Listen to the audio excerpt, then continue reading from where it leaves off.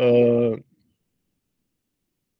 talk about your um, what you're learning, what what you thought you learned, uh, what worked for you in the course, and that type thing, right? So I want to um, hear that, right? So, and what we've talked about in this course is that it's a little bit self-determined. It's not quite a independent study course, but it has given you a chance to choose what you want to emphasize in this course and drill down into it with your research reviews and your projects. So as you talk about that, I want to I want to hear about that in your self-assessment. So um, the project as you're turning that in, you're going to uh, you know do a little bit of that also is talk to me you know in in written form in, in your report uh, talk to me about what you learned uh, in that experience doing that project. Okay all right now we'll go back and share again and we will talk about ROS uh, robot operating system. No not that presentation This one. Okay. So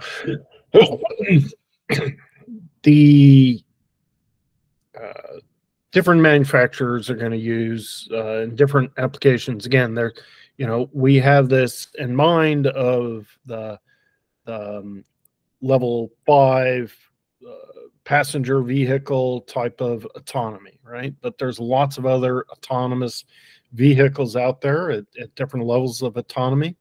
And so a, a lot of those are going to be using the robot operating system in one way or another. Now, it is not necessarily a uh, autonomy package. It's uh, can be done just simply as a remote control type package, right? Or a pre-programmed type of thing um, that doesn't necessarily have a ton of autonomy associated with it, right? But it's a very, very common system. It's uh, very powerful, but also able to be scaled down to very small platforms. So uh, these are links you can go and get a little bit more information about ROS and its different flavors, but it's a set of software libraries and tools for building robot applications, right? Robot operating system. Uh, ROS M is actually a hardened fork of ROS 2. So when we talk about ROS these days, um, I, I misspoke there, ROS 1. When we talk about ROS these days, it's really this ROS 2 is a, the current version. Uh, but that was preceded by ROS 1. There's different versions within these um, ROS 1 and ROS 2.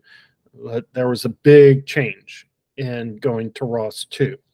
The DoD had already a lot invested in ROS, and uh, part of that was hardening it, right? So when uh, whether it's the the military or Homeland Security or um, you know FAA or or whatever, when they use software, they they kind of go the extra mile, or at least they're supposed to, in terms of uh, making sure that uh, there's not vulnerabilities in these softwares, right? So there's not uh, just bad bugs like buffer overrun uh, bugs, but there's also not or, or memory leaks and and that type of thing. But there's also um, really the the big focus is on cybersecurity, right? So that there's not um, vulnerabilities that can allow an adversary to get into a system and, and compromise it. So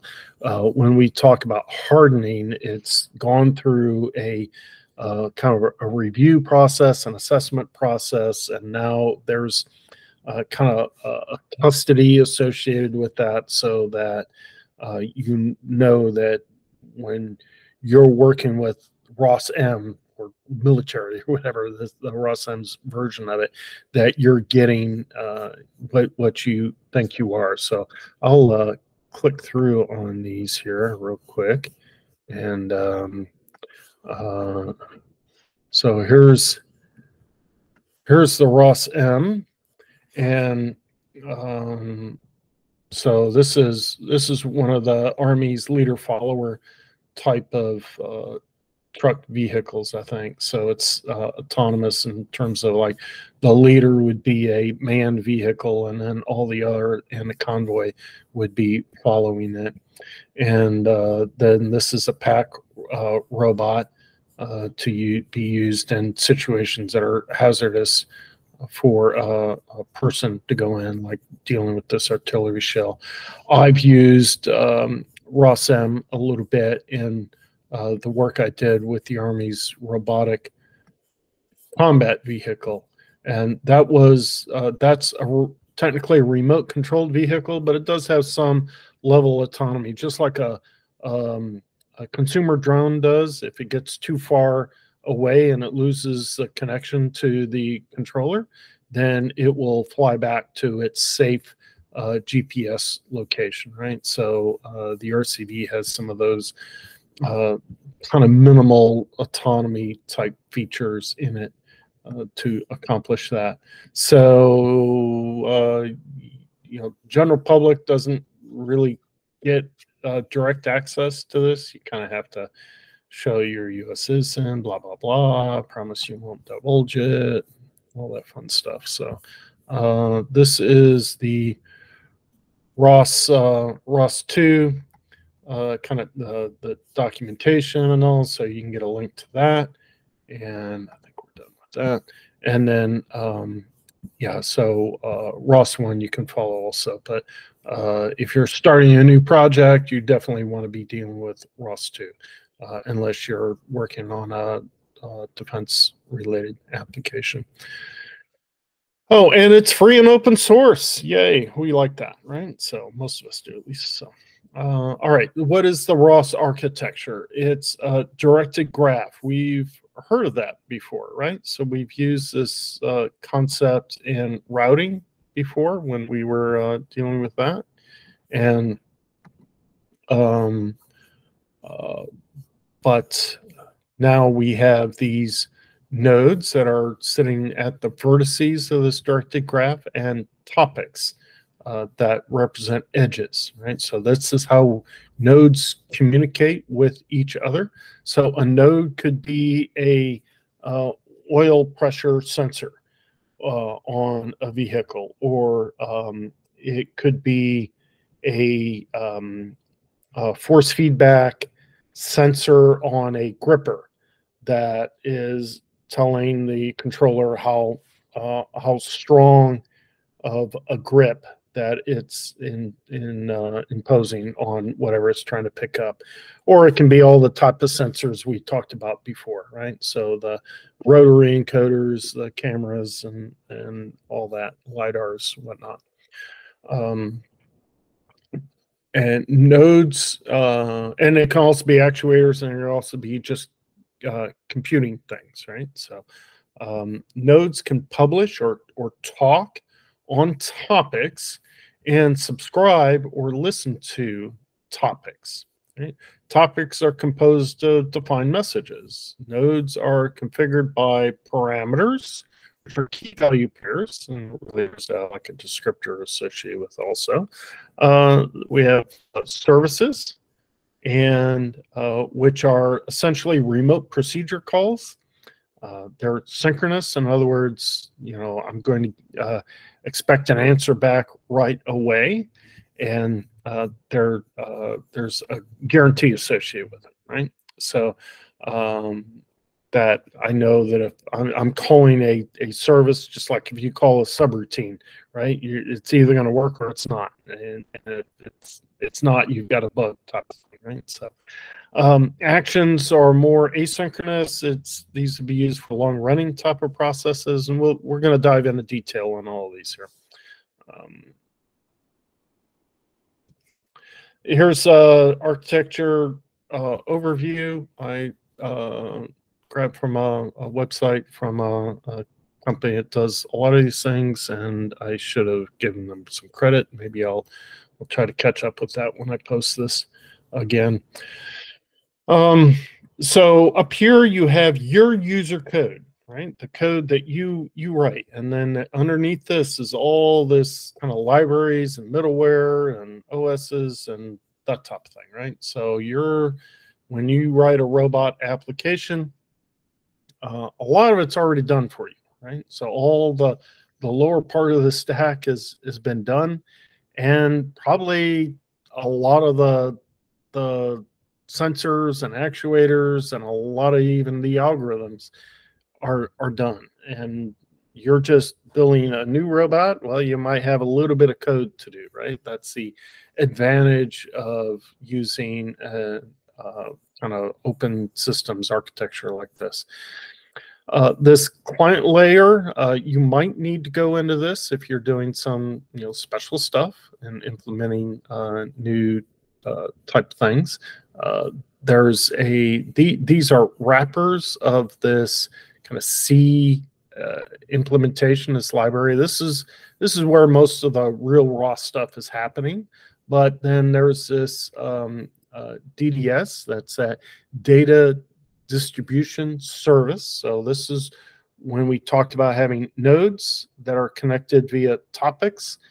That topics is describing data moving right? And so the DDS layer is is handling that, and that can be a um, so there's an abstraction layer, and then there's different implementations, right? So if you uh, are happy with the default implementation, that's great. If you think that some proprietary uh, solution is going to give you a little bit better performance, that's great too, right? So, uh, and then underneath that, finally, is going to be your um, uh, your OS support. So, uh, except I did not find support for my brand new Mac M3 processor OS.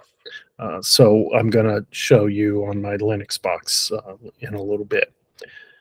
All right. Um, so let's look at these in detail. Uh, ROS nodes. Nodes are the unit of computation in a ROS graph. Right. So uh, that should do one logical thing and do it well, right? So we're going to do some calculations. We might be uh, uh, reading a hardware sensor and maybe uh, scaling and calibrating those units and uh, or, measurements, and then uh, we we post them out on a topic, or we might be accepting, you know, listening on a topic for command, and then affecting some actuator to to do something. Right?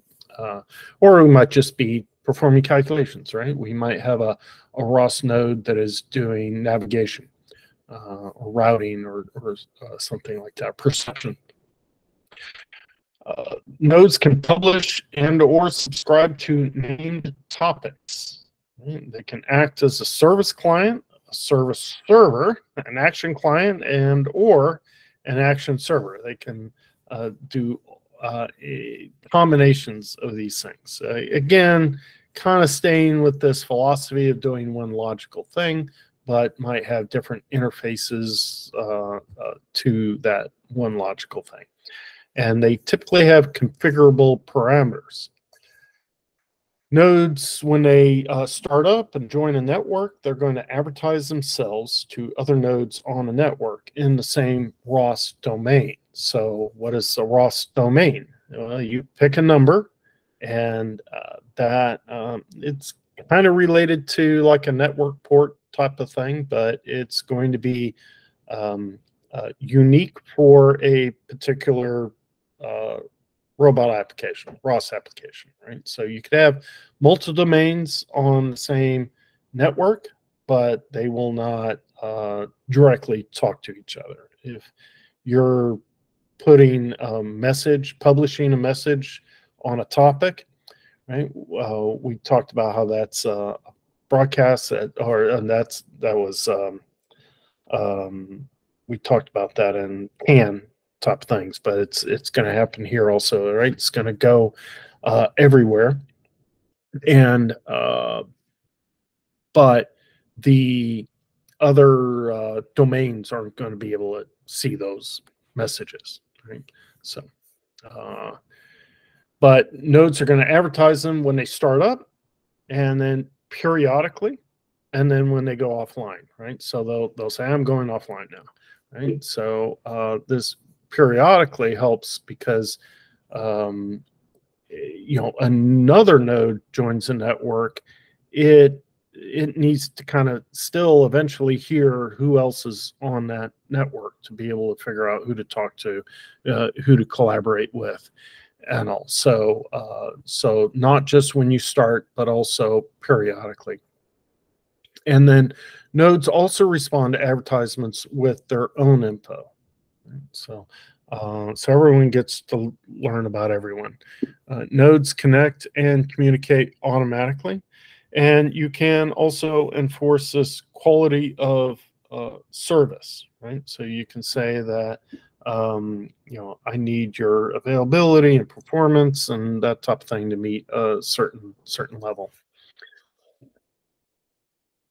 Uh, then we have this concept of interfaces. These nodes communicate through interfaces. These are uh, described using interface definition language. So the uh, this concept is uh, pretty pretty broad in uh, computing systems. Uh, when you start composing systems of different uh, objects, components, that type of thing, right? So we've we've had some form of an interface definition language for for um, many decades, and uh, or at least a couple of uh, uh, couple of decades plus, uh, at least I can think of.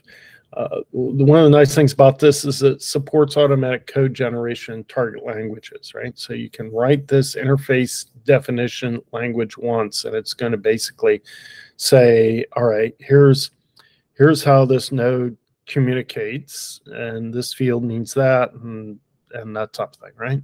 And then uh, you can um, run a tool that will generate Python code to basically implement that interface. Now, if you got an algorithm associated with that, you still got to write that, but it will um, provide that whole skeleton for all of that, right? And uh, or you might want it done in C++ or C Sharp or, or Java or something like that, right?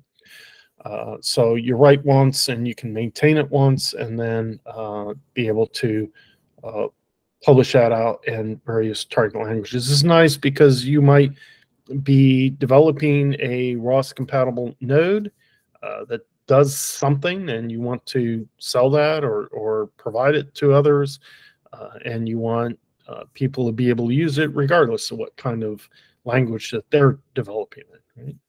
So uh, this this IDE, IDL will define uh, topics that the message interacts with, either publishes or, or subscribes to. And that will be defined in uh, a .msg file with a series of descriptive fields. And then there's uh, services and actions uh, defined in their respective uh, files. Uh, services have a request and a response. Uh, actions well, because they're not really guaranteed, we're going to specify instead of saying a request, we're going to talk about that in terms of a goal, right?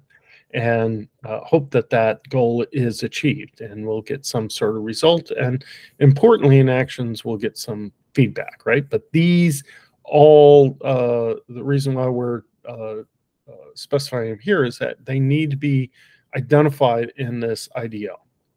So that every other node can know how to interact with that node, uh, this this target node here that's being specified by this IDL, and uh, be able to interpret uh, how to uh, act upon these services and actions and and or how to request them and how to interpret the results and same thing with the topics.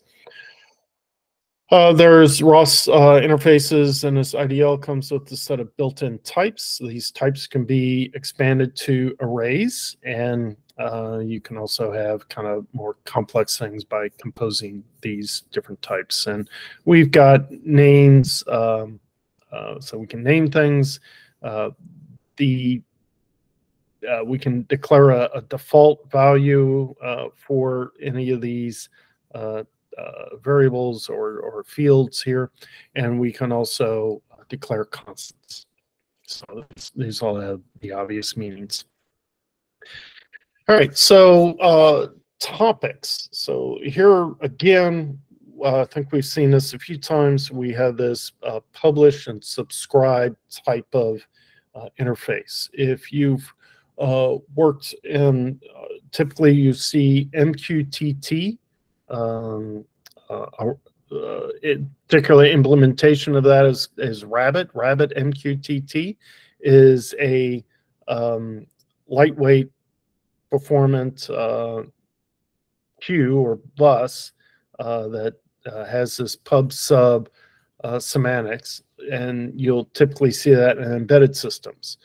Uh, at the maybe other extreme, you have things like Kafka that are used in big data type applications and maybe on a cloud infrastructure, and uh, they're um, you know might be consuming from a a, a NiFi port and um, uh, or, or, front end and and storing in some NoSQL database or, or uh, something like that, right? So basically just scaled for for big big data, everything in between. These are all pub sub type of queues, right? And so the idea is that a publisher can post to a topic in a broadcast fashion. And uh, I'm just, you know, uh, let's say I'm a center and uh, I'm generating data. So I'm going to post uh, this data uh, to a named topic onto this queue or this bus. And um, uh, you can have zero to n of those, right? And uh, then you can, although zero doesn't, you know, it's not, doesn't make sense on a practical basis, but things don't break if there are no publishers at any given time. You can have subscribers or listeners, and they'll just sit there and listen to silence if there's no publishers, right? So it's a very loosely coupled uh, system. If uh, you have a, uh, a, a, sensor sender as a publisher go down, uh, it doesn't like bring down the whole system. You just stop getting that data. Uh, you can also have zero to n subscribers, right? Sometimes I'm sitting here lecturing and um, you know so i've got one publisher i'm lecturing uh, but i have no idea if any of y'all are actually listening right so i might have zero zero listeners or uh, maybe 18 listeners right or subscribers so um, all right the, the other uh, key here is it's anonymous uh, it doesn't mean it's purely anonymous uh, but what what it does mean is that it, it doesn't really matter which node publishes publishes uh, a datum or any piece of data, right? Uh, if, if uh, we're getting temperature data and uh, maybe we have for redundancy sake we've got a couple of temperature uh, sensors out there i it doesn't matter i don't have to connect to a specific one. Uh, that those publishers are publishing data, and I just need to uh, read from that topic and and get that data.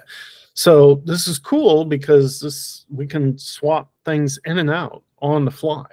Uh, so if we're needing to maintain a system and our oil pressure sender unit uh, no longer is working, well, we yank it out, put a new one in, and conceivably, maybe you wouldn't want to do this at oil pressure, but um, you could conceivably do this while the system is is running, and um, assuming that the electronics handle it without um, uh, current surges and voltage spikes and, and whatnot. But um, but from a data flow standpoint, a logical standpoint, you should be able to, to do that. So um, uh, they're not tied to each other. They're uh, very loosely coupled. But these things are strongly typed. We need to be able to uh, unambiguously interpret the data that's uh, flowing on this. So we need to know whether it's a, a, short or long or float or double or, or whatnot. Now we also have uh, services. We've talked about services and actions. And so we'll go into them a little bit deeper here. services uh, can be uh, either a server or a client, right? So the idea of a service is that it's a, um, a synchronous remote procedure call. The client makes the call, and the server uh, responds to it, does something, and then returns a response. Uh, that response could just be, um, uh, you know, a, a return, uh, but that it's uh, it's it's sending back. Uh, typically, it's going to send back some confirmation or a result, right? So you might issue a RPC call to um, to move move forward or whatever right? So and you're going to return back and say yes i, I did that. Um, the uh, this remote procedure call means that we can do this across process boundaries right? So we can have one program uh, doing one thing and another program doing another thing and then they communicate. So these are not all one big monolithic program. These are composed of lots of different things, and then we're uh, doing these remote procedure calls, uh, and they, uh, you know, are often typically not on the same computer. So, um, but the uh, client makes that synchronous call, so it's going to block while the server is doing its actions right? So think of it as, as on a local basis. When you write a program, most of the time, you uh, until you get to some more advanced advanced programming, when you call a subroutine, you're waiting until that subroutine does its business and returns, right? And uh, so it doesn't return until it's done all that you ask it to do right? If it's doing a for loop of zero to 10,000 epochs of training, well, you're going to have to wait for all that time before it comes back, right? So, um, so typically we want to make sure that these, uh, we, we use services when the server can do its job and return quickly because the client is blocked and it can't do anything. It's just sitting there waiting until this returns back. So if you don't have that, if it's going to take the server a long time to do something, let's say it's solving a traveling salesman problem uh, of, of routing, and it's going to take minutes or, or at least seconds to uh, to do that. So then we might want to implement that as an action. So services are identified by service name. Only uh, should be really only one server but potentially many clients per service name, right? So you have a service, a service can be implemented as a server or a client, right? It's more of a concept, but there should be one server so that uh, it gets uh, any any client that calls that service, uh, it's going to go to that same same uh, server.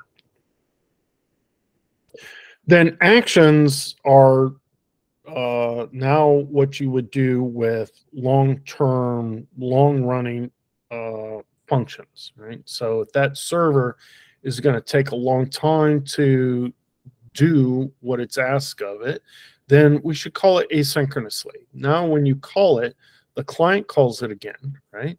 And it's going to return very quickly, but uh, just with uh, like a handle and a confirmation that at least we got called and we're starting, right? And then the server starts its work and then can provide feedback on the status of how it's doing, right? Maybe I'm uh, 10% done or, or 20% done or 30% done.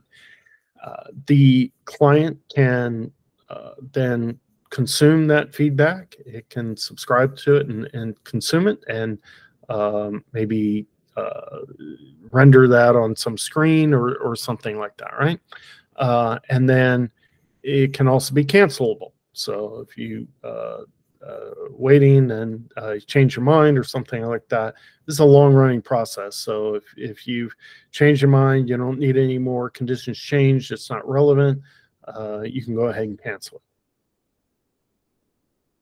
So we talked about how nodes are configured by parameters. These are declared a priori by, default. There's ways around that, but in general, you're wanting to declare these parameters a priori, but they're set at startup and are changeable during runtime. In other words, they're they're set outside of your compiled code, right? Or or written code if it's if it's Python, and so it, it can be read in and um, uh, configured at startup. So you can change those parameters, maybe using a text editor or something like that, and restart it and run, and it will adopt those new parameters. And they're changeable during runtime also, right? And uh, so maybe this is the sample rate of some sensor. How often do you want it to to sample, or uh, do you want it to filter the data? And maybe you change the cutoff frequencies of that filter or or something, or or scaling that uh, data in in some ways. So uh, different different type of parameters. Um, they are configured on a node by node basis. So you might have uh, two nodes that are both um, um, you know position sensors or, or rotary encoders, let's say, but maybe one node is attached to the left wheel, left front wheel, or left track, and the other one's on the right hand side. And uh, so you might uh, have different parameters uh, for those. So you can uh, adjust those on a node by node basis. They're generally a key and a value, right? So uh, key means it's going to have kind of a name associated with it. Typically, uh, these would be like a human readable name, and then the value uh, so uh, would be attached to that.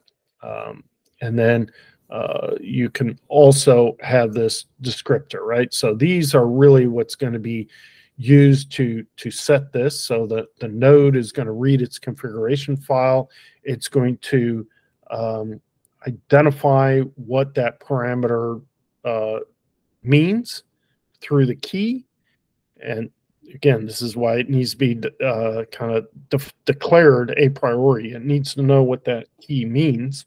And then uh, like what value does if it's sample rate then it's going to uh, be assigned to some uh, timer uh, value in the code right? So that it can uh, uh, uh, you know trigger this timer at this periodic rate. And the value then obviously would be the value that's associated with that. But then you can also have a, a, a descriptor associated with that and just more of a human readable type of thing. Um, so parameters also have these uh, three different callbacks associated with them to allow the node to respond to changes, right? So we can have these things set at startup, but they can also be changeable during runtime. Well, if you're changing the, uh, let's say, sample rate of a sensor, that node needs to know how to respond to it right and and be able to, to do that so there's uh, three different callbacks that you can register in your code and in your node code and then that node will will respond to this so the framework will will uh, call the function associated with this callback on your node when um, these parameters are being changed right so this add pre pre-set parameter callbacks, right? So let's let's peel this apart.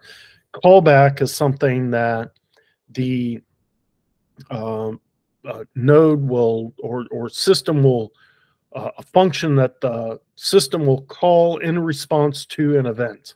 Right. The event here is that a parameter, one or more parameters is being changed. Right. So that's what callback means. Parameters. Okay. Well, we're focused on parameters set, we're setting these parameters, right? Pre, here, this is the time or the relative time in this process when these parameters get uh, changed. So we're going to have a pre, on, and post. And then this add is just meaning that uh, as a programmer, you're you're going to write a callback routine, and you you can call that routine anything, right? You can call it, um, you know, check for valid parameters on change, or um, uh, function one, whatever, right? So you can call it anything you want. You're going to register it with the system by adding it in this uh, uh, call here, right? So this is going to be a call that you're going to make, and uh, you're going to uh, there's going to be some signature, a calling signature associated with this that's going to include your function name. Then when uh, so that function name should be prepared to accept a mutable list of parameter objects that are being changed, right? So the framework's going to gather up uh, one or more parameter objects that are being changed. Maybe there's several being changed at once. And it's uh, uh, if there's a callback that's been registered, it's going to call it. And it's going to provide it this list of um, parameter objects. Now, note that it's mutable. And so if you can't accept a change uh, in that, then you can uh, drop it out of the list, right? Um, so that's your one and only chance to do that.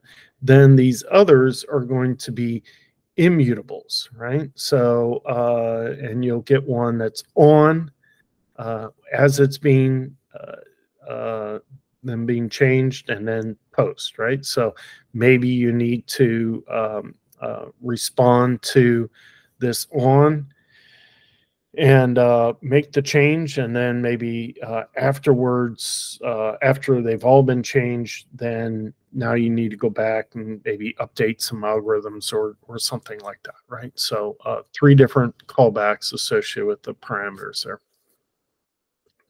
All right so that's kind of the the the, the different pieces of the ROS uh, architecture system.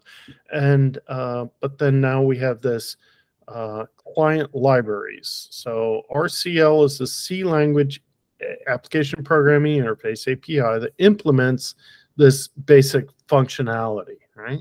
And then there's uh, maybe official and also community support of wrappers on top of C, right? So C is that nice common denominator, right? And um, C is is very close to kind of the assembly machine level, so that uh, you know you can do almost anything in C, right? It's not going to be restrictive, and uh, so it's uh, that uh, basic functionality being implemented in C, and now, uh, but you know, a lot of us don't program and C um, much um, if we can avoid it. and so uh, maybe you're developing in C++ or Python, then uh, you're going to have a wrapper binding on that. So you can totally work in Python, but then these wrappers then translate uh, all your calls and interactions with this client library into the C calls, and C's where all the work's done. So these are very lightweight wrappers.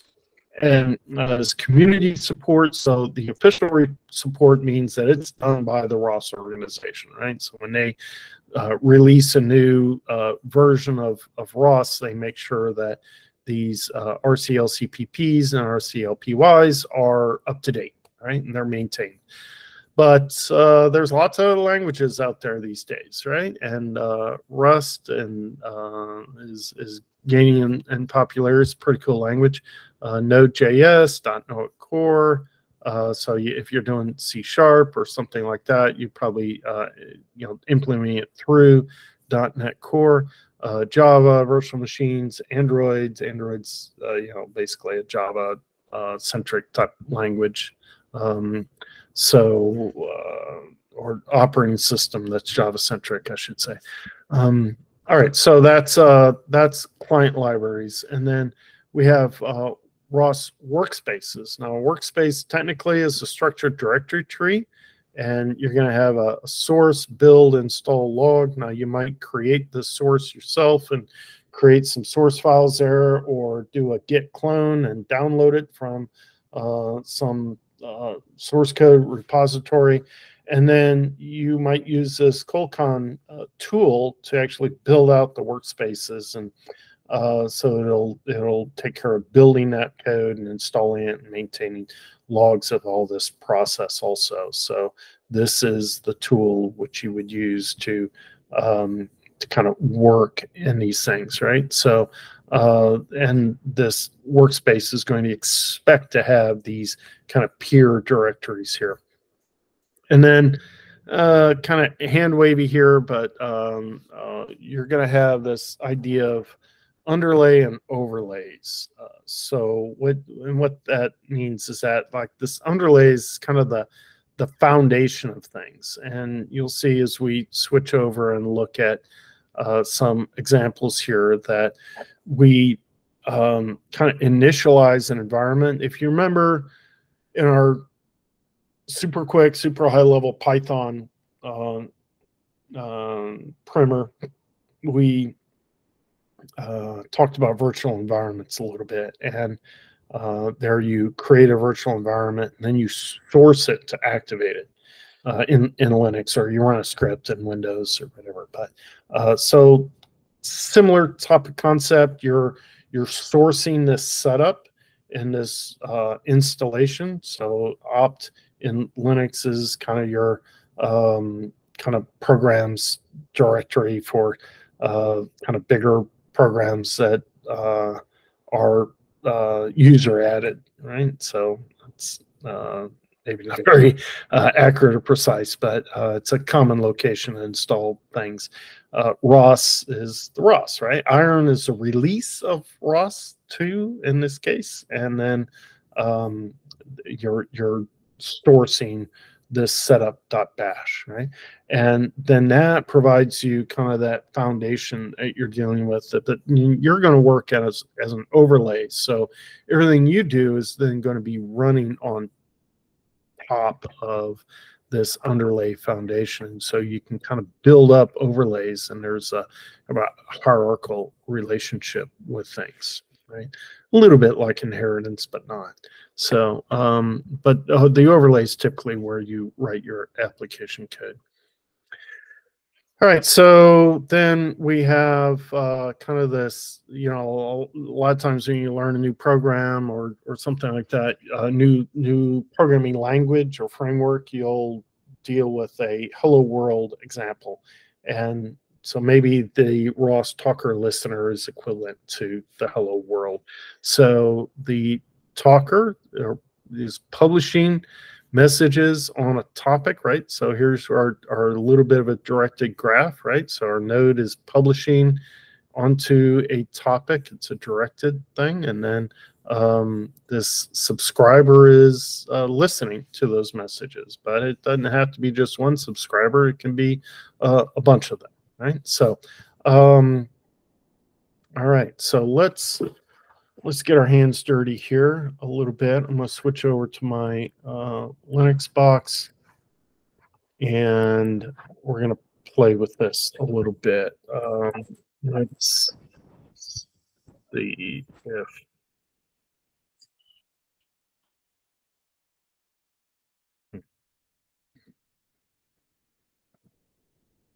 Okay.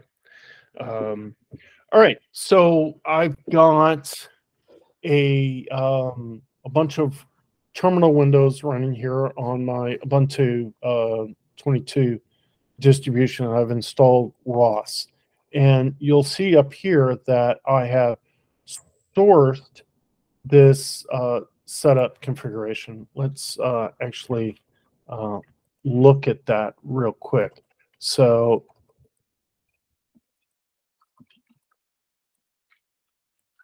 So here, this is just kind of a, a shell script type format. It's uh, uh, telling you what uh, shell to use, a bash shell, and that this is how things are interpreted in a terminal window. um, and uh, sets up some directory paths and, and whatnot, right? So, and then ultimately calls these other uh, setup uh, routines. So, uh, so we we source that, and that that's as uh, fancy as it gets. But now we're going to run a uh, talker. But actually, before we do that, I'm gonna I'm gonna run a listener down here, and uh, just to kind of show you what happens. Uh, not a lot because there's no talker, right? But it's it's not crashing, right? So right now there's one listener and zero talkers or, or publishers, right? So let's uh, let's start a talker, and oh, there we go. Hello world zero one two zero one two three four. So now you see these two are communicating. Well, let's run another one.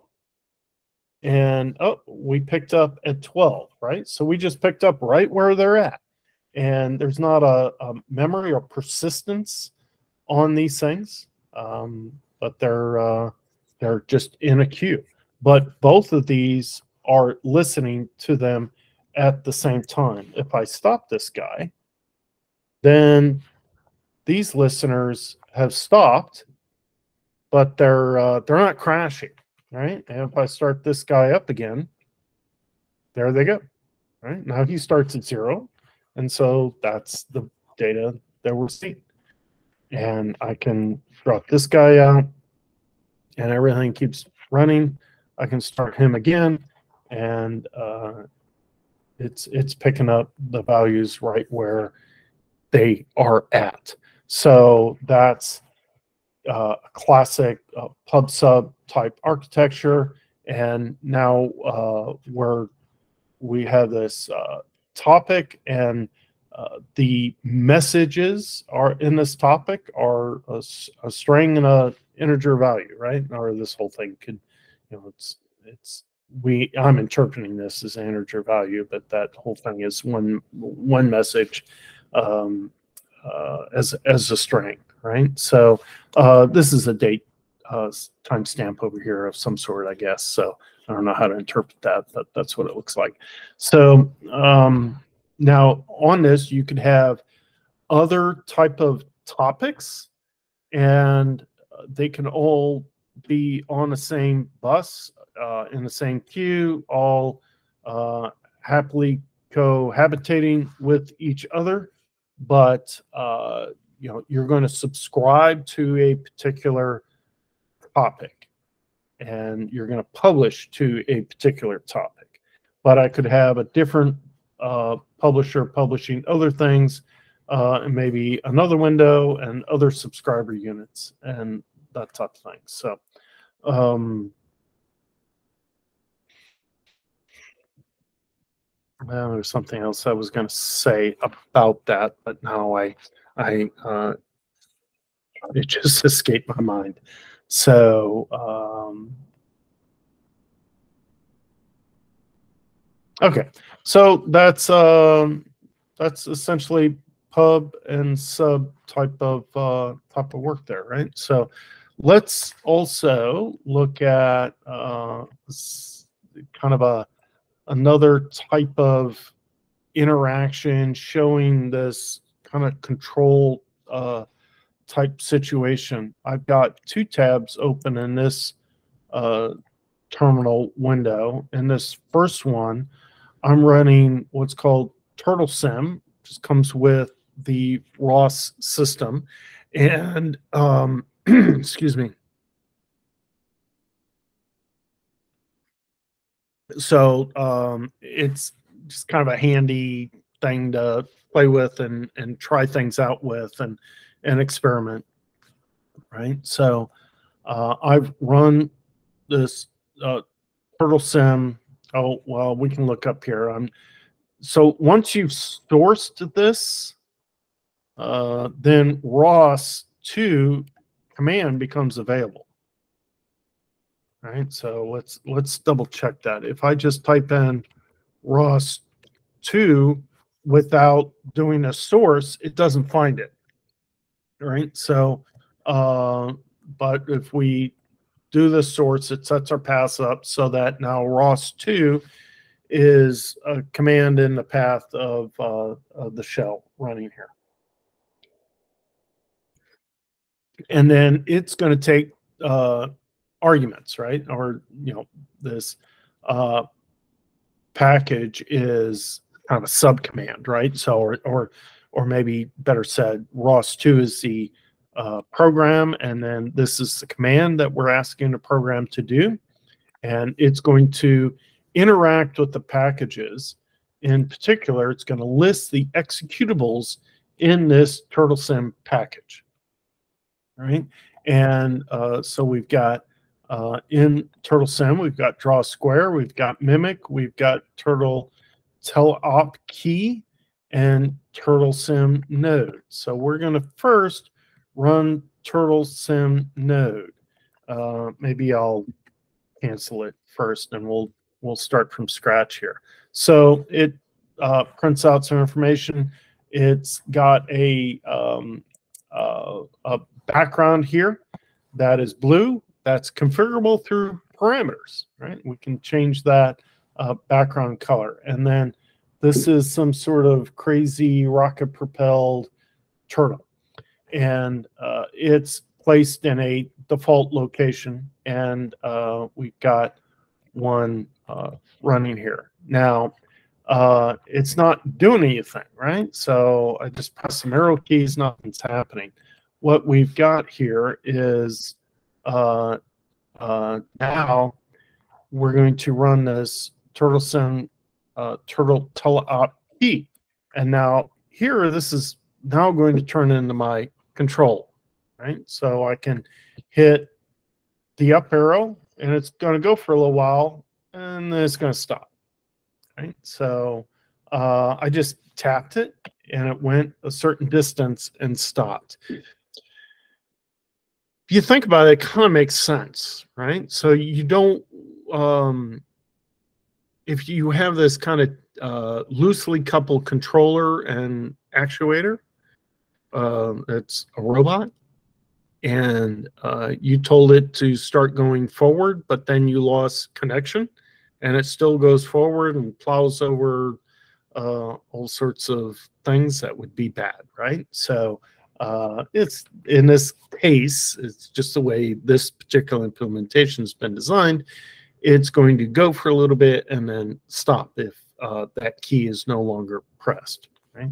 So I can turn it around a little bit. I just press the left arrow and I can press again. I press a, a back arrow, down arrow, and uh, that type of thing. So, uh, so the you know the point isn't you know controlling a robot. The point is that here we have two different programs running, and they are communicating.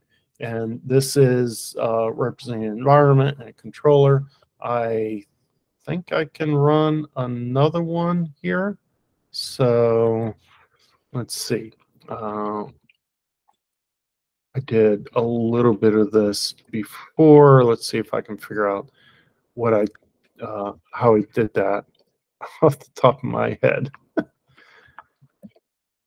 okay, so now uh, ROS2, run turtle sim, and that was called uh, Turtle TurtleSim, turtle teleop key, yeah. And uh, so now I've got this guy, and so now I'm controlling it from there. So now we could have two different control stations, right? And uh, two different um, abilities to control this.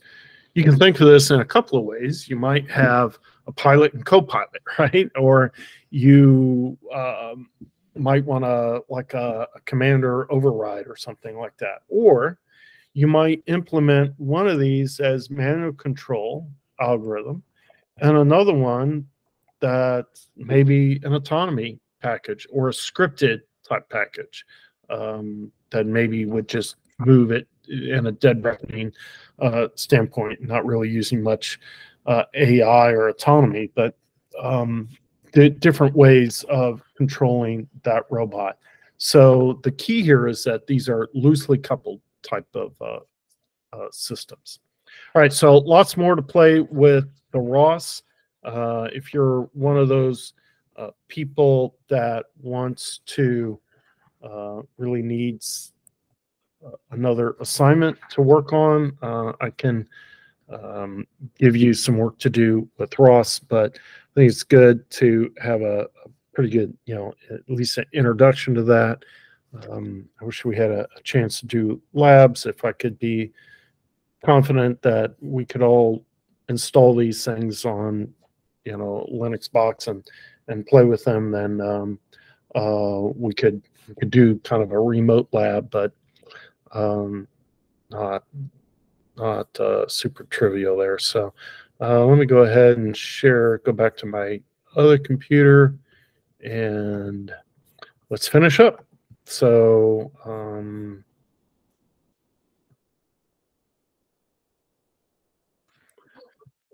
Okay. Okay. So that was ROS, and uh, there's, uh, you know, ROS is huge in terms of scope. It's used by many different uh, people, organizations at many different levels, uh, different target type robots, lots of different kinds of, of robots, and um, even like space based ones and whatnot. Um, and also from everywhere from research to actually just operational type of things, right? But they're not the it's not the only one, and there's certainly going to be some proprietary ones out there, right? But uh, another one that is is worth looking at um, is this MOOS IvP. And hang on a second, I just want to make sure that everything's running here. Okay, so MOOS uh, IvP Helm is uh, kind of partially developed at MIT and partially developed at Oxford, and there's a few other uh, universities that have uh, some collaboration, but at a lesser level. Uh, I've worked with this, and also one of the uh, prime contractors on the Army robotic combat vehicles uses MOOS, uh, the MOOS system in the Army in their version of the Army RCV. So, um, but it's really kind of originally geared towards autonomous marine vessels. Uh, I used it on a submersible uh, um, uh, autonomous vessel, uh, but again, it can apply to others. And again, here's a uh, a link to that, and I will uh, let's see. So it's again an open source type thing. It's uh, ultimately specified in in uh, or implemented in C++ modules, um, but it, it's a loosely coupled system also, right? So um, uh, MOOS itself stands for Mission Oriented Operating Suite. It's an autonomy middleware. The IvP is uh, stands for Interval Programming. Uh, it's kind of a mashup of a couple of mathematical terms, including dynamic programming and and all. But uh, it's you can think of it as as solving for multi-objective optimization, right? So you can imagine that a robot or an autonomous vessel or vehicle or something like that might have more than one objective that it has right? It's got objective to keep keep uh, passengers or freight or itself safe. Uh, it's going to have a mission to do to move somewhere maybe do something when it gets there. Um, there there might be you know it might uh, need to stay covert in a military aspect, or it may want to stay um, uh, very visible if it's uh, navigating in a congested harbor or something like that, right? So, uh, you know, the point being is that there can be multiple different objectives. The IvP is designed to try to optimize those uh, concurrently right? So multi-objective optimization with some some weighting there. And then Helm is the actual uh, autonomy package, and these terms are a little bit squishy here. Um, it's okay. Uh, just a few more slides here, and uh, but you can think of this as kind of a backseat driver design philosophy. So you've got this MOOS system up here with the IvP Helm doing this autonomous decision making as a process, right? And it communicates with MOOS. There's a MOOSDB where uh, all the well, uh, maybe my next slide shows that. I'm not sure. Um, so, but this is like uh, like the captain of the ship uh, that's making the decisions on where the ship should go and uh, like how fast that they should get there and that type of thing. But you know, typically on big ships, the captain's not the actual one sitting at the helm or the throttle, right? You've got some seaman doing that, some sailor, and so, uh, or if you like watch Star Trek or something like that, right? So you'd have the the captain and he would give the order, but then you would have the helmsman that would actually punch it in and and make it go, right? So that's they call that the backseat driver design philosophy. So you've got kind of a lower level uh, main vehicle computer, and we've seen this a little bit in that kind of um, you know maybe about uh, three weeks ago or something where we were uh, three and four weeks ago where we're looking at how um, after we do that basic perception and localization then we kind of go through these hierarchy of behavioral decisions and all the way down to the control system right so uh, this is kind of following that same thing this guy's uh, appears making those high level decisions um, but then down here, you've got the uh, control logic to actually make it so. Okay. Um, all right, then, uh, oops, wrong way. Uh, so I mentioned MOOSDB. So you have, again, kind of a loosely coupled uh, situation of MOOS applications, and it's uh, uh, publishing and subscribing data back and forth, but they all goes through this MOOSDB. And now you can have persistence in this MOOSDB. And uh, like this um, uh, company I worked with would, would collect data and then they'd be able to play it back using MOOSDB and play it back as if it's being done in real time, uh, but just arbitrarily uh, later. And uh, so everything is connected in through this MOOSDB, including this IvP Helm autonomy package. So then the last thing to talk about this MOOS uh, IvP Helm is uh, the idea that it's basically built on these um, uh, behaviors.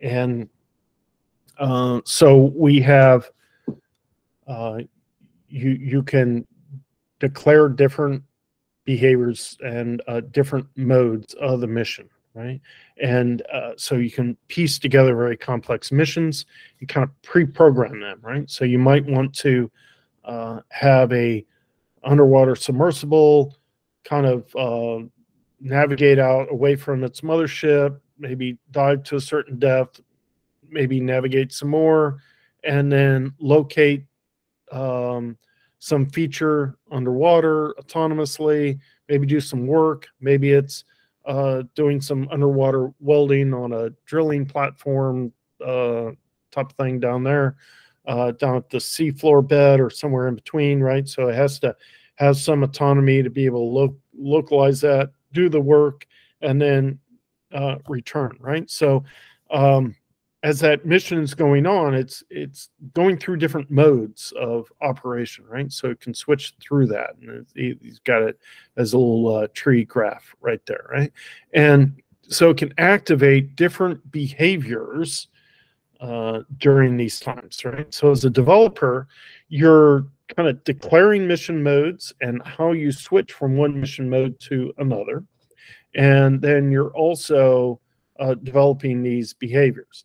Now, uh, you can imagine that with the, you know certain size ecosystems, a lot of these behaviors are in common and already written. It's open source systems, so um, you, you might just need to write a few of these to uh, actually implement your system, right? So, uh, so here we've got three different behaviors activated in this particular mission mode right now. And then this IvP solver, that's all part of this IvP Helm here, is now looking at these behaviors and trying to come up with a decision that best satisfies all of these guys in optimal uh, uh, semantics, right? And so it's it's outputting that decision, and it might be to, um, uh, you know, go uh, at a certain rate, at a certain heading, at a certain angle to uh, either go deeper or, or rise up or something like that, right? And then uh, there'll be another um, connection to the MOOS uh, database here that would go to this vehicle navigation control system that would decide, okay, how do I pivot my asymptods or uh, fins, uh, and how fast do I run a particular thruster? Uh, again, just talking about a, a submersible here, and uh, do I do I need change my buoyancy or anything like that, right? And uh, to actually decide what kind of voltages or pulse width modulation to actually send to the motor drive controllers uh, to actually make all that happen. So that's MOOS IvP uh, Helm and just uh, yet another uh, example of a um, uh, an autonomy based package. So ROS itself is not necessarily autonomous, as I uh, was mentioning earlier. Uh, you can certainly uh, attach a node that is implementing autonomy, right? Uh, but you're going to have to do that. Uh, whereas the MOOS system, the the MOOS part is uh, very loosely equivalent to ROS in that it's providing that kind of idea of, of nodes and communications, pub sub type uh, communications between them. It's the IvP Helm that is really developed for a uh, autonomy package, right? And so uh, you could certainly have build the equivalent and attach that to a ROS system as another node that would then um, uh, subscribe to all these things and that type of thing. It's just that with this uh, ROS, uh, I mean, this MOOS IvP system with these mission modes and these behaviors, um, and then that uh, that multi-objective uh, optimization solver, uh, the IvP solver, that um, that's a whole framework in and of itself to do that autonomy. So, okay, so that's it. Um, I'll uh, check the poll one last time. And um, all right, we're still at 11 votes, so no one else voted. Um, and um, so I guess that's all we have on here right now, right? Four, six, ten. Actually, we got we have 10 people and 11 votes uh, someone someone must have dropped off and so um um yeah if you're one of those three and you really need some extra work um uh talk to me about it you may not really need it uh, to get the grade you want uh, but let's let's see we can have a conversation. But uh, i don't think we'll add any more assignments. We did have those five assignments. Some were hard some were easy but you know they were at the beginning of the semester. Now let's totally focus on the project and the uh, research reviews. And uh, so we we had another set due and so i'll uh, kind of continue to give you feedback but i think we're all on the right track there okay all right well, uh, that'll be it. We finished uh, a couple of, a few minutes early this week. Thank you, Dr. Horine. Professor. Thank you, Professor. Take care. Thank Have a good week.